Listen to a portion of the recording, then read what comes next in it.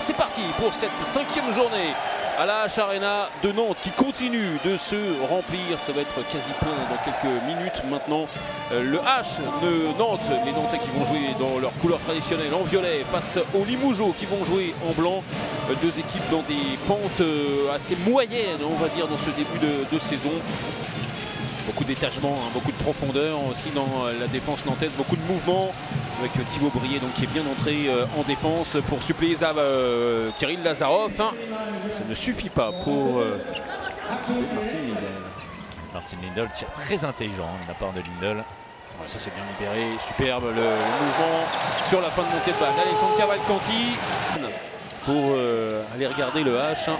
Ça aussi, hein, c'est, euh, ça fera partie des questions qu'on leur posera tout à l'heure à Gaël Pelletier.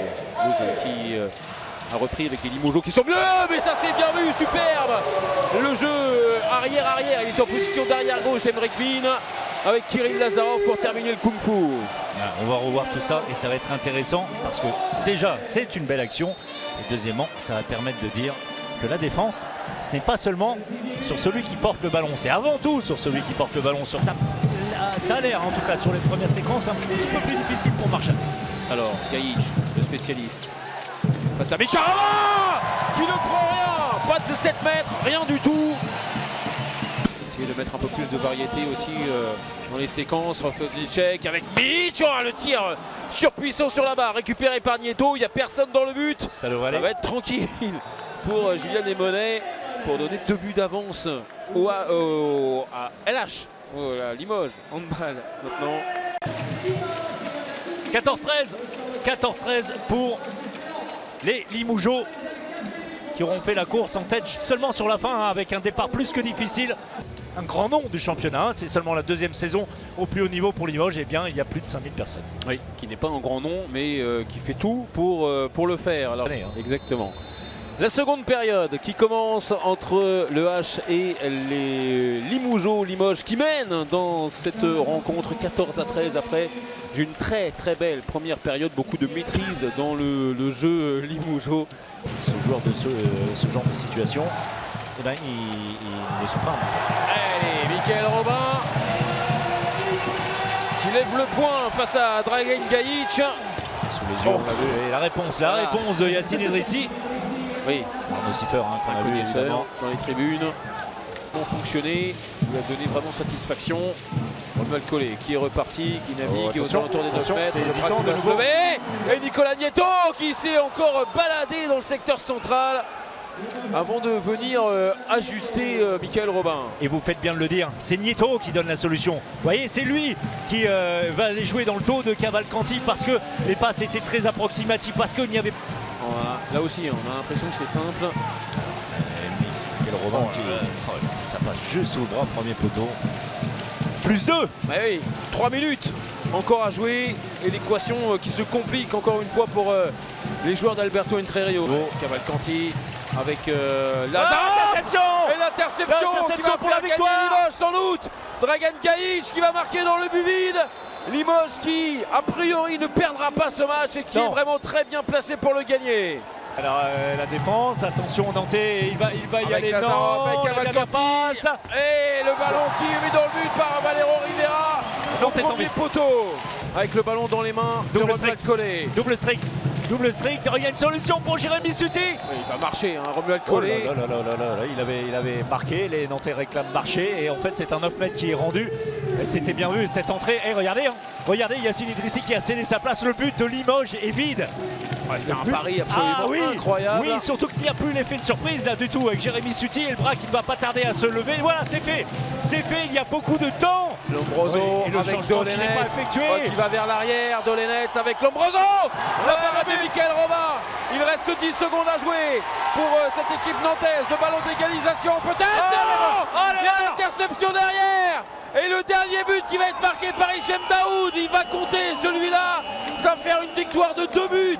Pour Limoges dans une fin de match absolument irrespirable.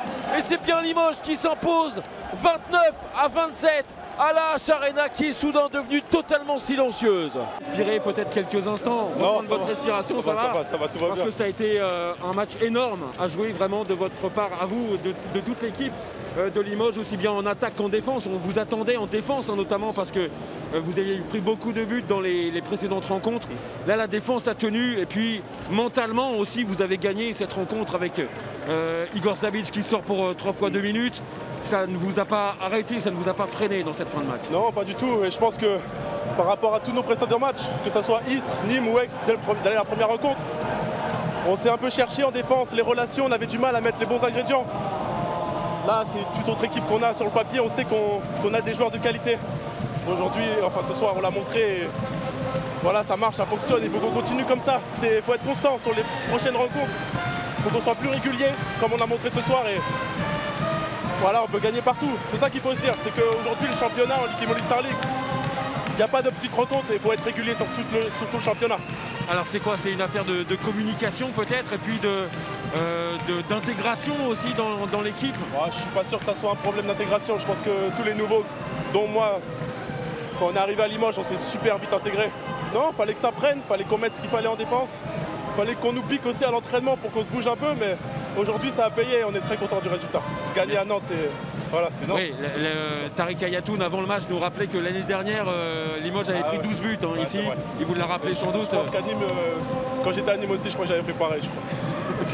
Donc tout va bien. Bravo, bravo encore pour, euh, pour cette Merci rencontre. beaucoup. Merci beaucoup. Voilà pour réception euh, côté, euh, côté nantais, Emeric Mill qui vient à notre micro. Merci de, de venir à notre micro, Emeric. J'imagine énormément de déception hein, ce soir. On a, on a senti qu'il y avait, il y a eu des moments euh, positifs et beaucoup de moments négatifs aussi dans cette rencontre. Il n'y a jamais eu de, de constance vraiment côté, côté H aujourd'hui. Ouais, on n'a jamais été en mesure de, de gagner ce match, même si on passe euh, devant euh, en milieu de deuxième, on a, on a un gros temps fort, on passe à plus 3. Après, euh, Drissi il fait je sais pas combien d'arrêts d'affilée, on, on- sais pas, on, a peur, on a joué avec une certaine pression, je les relâcher devant ce, beau public chez nous à la maison. On n'a pas le droit de faire ce genre de, prestations et de perdre des points. euh, de perdre des points ici contre, contre Limoges, avec tout le respect que j'ai pour Limoges. On se doit de gagner tous nos matchs à la maison et on n'a pas eu une semaine facile. On a eu... Ça n'a pas été facile, mais on ne se trouve pas d'excuses. euh, Voilà, on a... il y a beaucoup de choses qui n'ont qui ont pas été aujourd'hui, euh, en attaque, en défense. euh, voilà, c'est une, c'est une très grosse déception parce qu'on ne s'attendait pas à, à perdre des points, mais bon, on va falloir rebondir maintenant. Oui, parce que dans, dans cette rencontre, il y a eu des, des possibilités de mener de 4 buts. Ça n'a jamais été le, le cas finalement pour, pour Nantes. Ouais, on commence très bien le match, après ils reviennent, après on court après le score, mais on arrive à revenir, on, passe, on repasse à plus 3 euh, et on, se dit que c'est bon, on est lancé et qu'il ne peut plus rien nous arriver, etc. Et on se remet à faire des bêtises, des, pertes de balles bêtes, etc. Et, euh, au final, eux, ils n'ont jamais paniqué, ils ont joué leur jeu, on a, pris tous leurs spéciaux, tous leurs coups et, voilà, au final, ben, ça pardonne pas. hein.